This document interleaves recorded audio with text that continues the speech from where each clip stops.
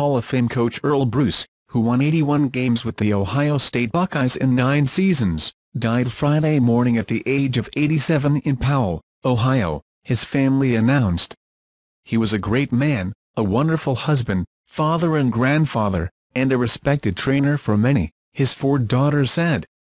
The current Buckeyes coach, Urban Meyer, whose first job as a schoolboy was as a graduate assistant under Bruce during the 1986 and 1987 seasons. Bruce was inducted into the College Football Hall of Fame in 2002.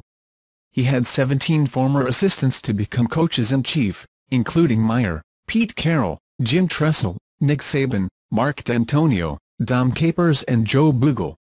Bruce, who was diagnosed with Alzheimer's disease in 2017, trained the Buckeyes from 1979 to 1987.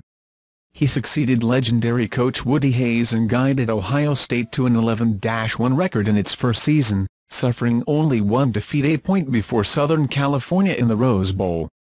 Hayes encouraged Bruce to enter training after his playing career at Ohio State was interrupted by an injury,